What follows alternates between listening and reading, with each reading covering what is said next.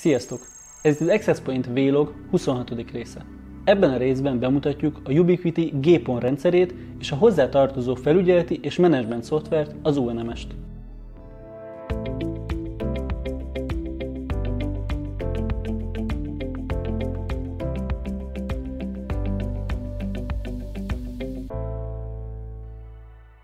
A Ubiquiti kínálatában még csak az idén jelentek meg az első GPON termékek, de már a mostani kezdeti fázisban is felfedezhető az egyszerűségre és könnyű üzemeltetésre való törekvés. Jelenleg csak egyféle központi OLT berendezés kapható, ami kompakt, egyú méretű és rendelkezik 8 darab pomporttal, két darab SFP SFP Plus ajzattal, valamint egy darab management és egy darab konzolporttal. A termék gyárilag egy tápegységgel és egy 20 km-es PON modullal érkezik, de külön vásárolhatóak hozzá még plusz PON modulok, illetve különböző típusú 230 volt AC, illetve 38-54 volt DC tápegységek is. A PON portok egyenként maximum 128 ügyfelet képesek ellátni, vagyis az OLT maximális klientszáma 1024. A megszokott OLT-hez képest itt a ponfoglalatok derékszögben helyezkednek el, nem pedig döntve, ezért a telepítésnél oda kell figyelni a megfelelő mély rekszekrény kiválasztására, mert a csatlakoztatott optikai kábeleknek helyet kell biztosítani. Jelenleg csak egy ONU berendezés kapható a Ubiquiti kínálatába, ami bridgeként működik. A rendkívül impozáns kijelzővel rendelkező, esztétikus megjelenésű berendezés egy darab szokásos pomporttal és egy darab gigabites 24 volt feszültség fogadására képes Ethernet porttal rendelkezik.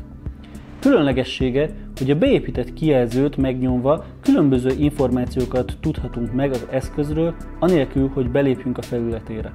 Az eszköz falra és asztalra egyaránt telepíthető, üzembe helyezés alkalmával automatikusan detektálja az UNMS szoftver, ahol egy gombnyomással díjcsomagot és helyszínt rendelhetünk hozzá.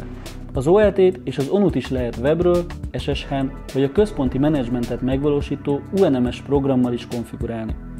Az UNMS Ubuntu-ra vagy Debian-ra telepíthető rendkívül egyszerűen, csupán egy sort kell parancsorba beírni, és néhány másodperc alatt már használható is a webböngészőből elérhető szoftver.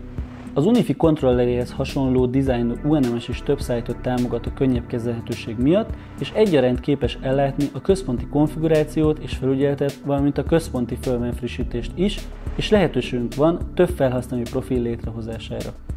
A jelenleg még beta változatban működő programban a néhány napos teszt során nem találtunk rendellenes működésre utaló jelet, az elérhető és általán kipróbált funkciók mindegyike megfelelően működött.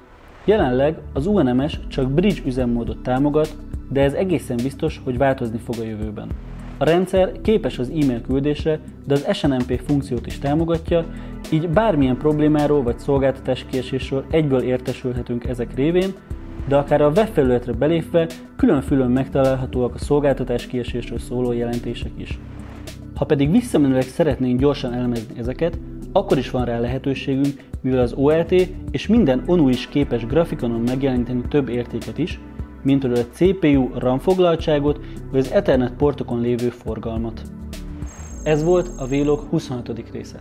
Ezennel lezárjuk a PON hálózatokról szóló sorozatunkat. Iratkozzatok fel a csatornánkra. Sziasztok!